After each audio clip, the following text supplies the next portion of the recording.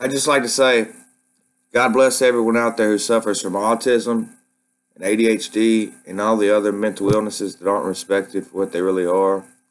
Um, as I said before, I consider ADHD both a cursing and a, um, a gift. Uh, it's really, I think early diagnosis is really important. I think uh, understanding how severe the case uh, the individual person has is, I think treatment's a wonderful thing. If you're able to manage your medication and, and such such.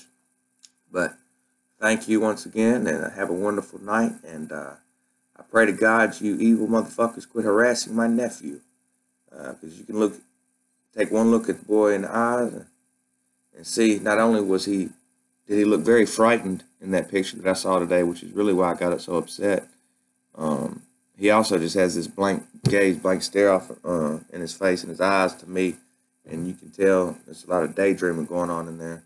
And uh, to thank you, sick motherfuckers, for taking advantage of him and uh, gonna put your little mind control shit bullshit on him. Well, Lord help us all.